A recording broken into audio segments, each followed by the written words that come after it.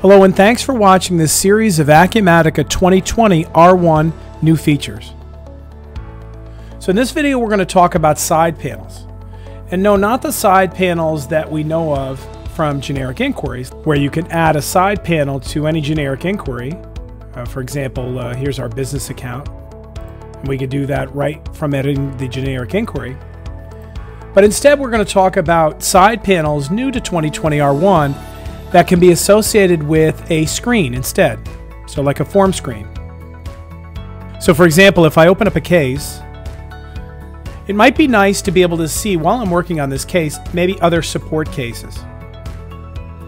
So to do that, we would go in and create a new customization. We can go into edit project and do it that way, or we can go into our customization projects and add one. So we'll call this case side panel and we'll open it up. We'll add our screen.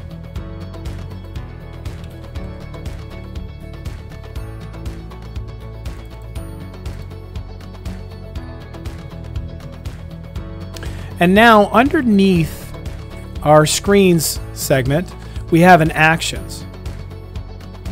So there's a number of different actions. If you saw our other video about CRM workflows and how they've been enhanced in 2020 R1, you could see some of the new actions that are there. There's also some additional things, for example, workflows that you can customize.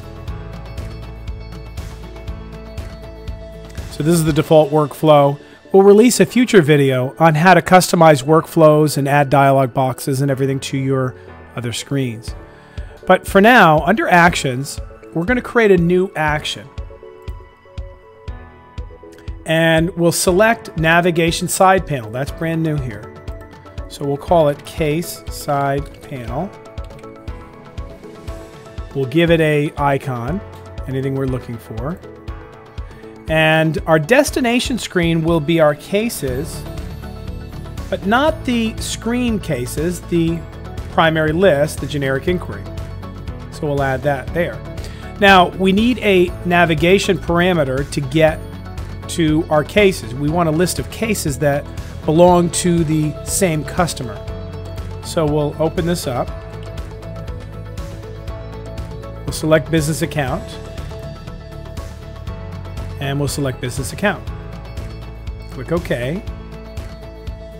And we'll publish this. Keep in mind that when you publish customizations, it does restart the application. So if other users are in the middle of doing things, it's not a good idea to run it. So let's move this off to the side or minimize it. We can see it's published here. And let's refresh our case screen. And now what you see, in addition to the case screen, is over to the right, you have a side panel. And for us, the side panel is a list of cases relating to this particular customer. So this is pretty useful. Had I added another action here, I could add as many navigation side panels as I want, and they'll show up as different icons and different sets of data relating to some key field on this case. So let's take another example. How about under sales orders? So we'll go to sales orders. We'll open any one of them up. And maybe it'd be nice while I'm looking at the sales order if I could see a list of open quotes that this customer has. So to do that, we'll go back to customizations. We'll add a new one.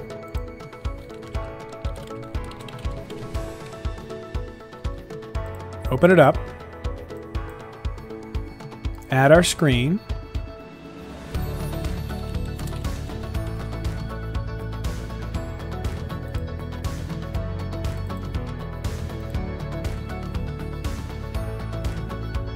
We'll expand our screen and go to Actions.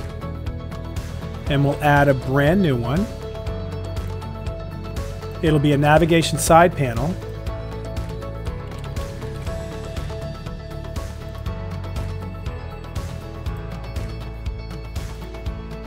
And again, we'll open up here, sales orders. This time it's a primary list, a generic inquiry. Even though we're customizing the main form screen, what we want to see on the right panel is the generic inquiry. So for this, we'll add a parameter, and it'll be account ID is linked to the customer. But we have another one here that we want to add. We don't want to see all order documents. What we want to do is filter by order type, and we want to put QT as the quote order type. Now to do that, in order to type in here, we'll check from schema, and we'll put the QT letters in there. So now we'll publish this. We'll slide it over to the side.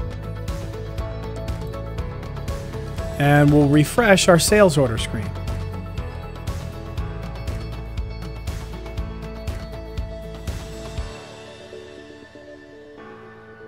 So now over here you could see the side panel if I open it up and you could see it's empty. So let's take a look for a customer we know has some quotes.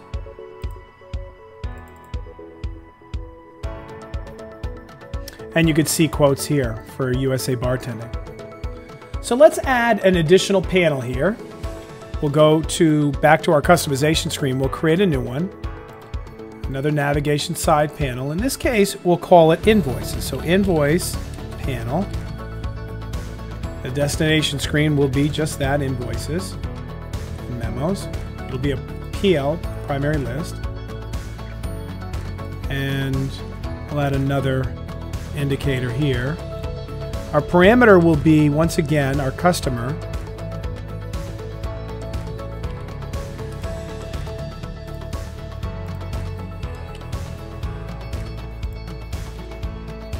And we'll click OK here. So now we have a second one. And we'll close our preview panel and publish.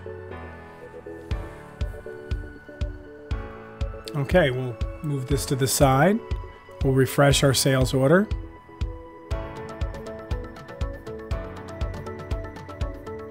And now you can see another icon. So this one was our quotes. And this one is our invoices. So that's it. That's how we can put side panels alongside of forms now.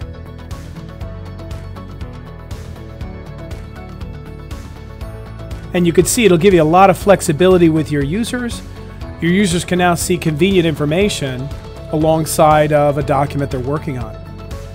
If you have any additional questions about how to do this or any other features in Acumatica, feel free to reach out to us. We'd love to hear from you. Thanks so much for watching and have a great day.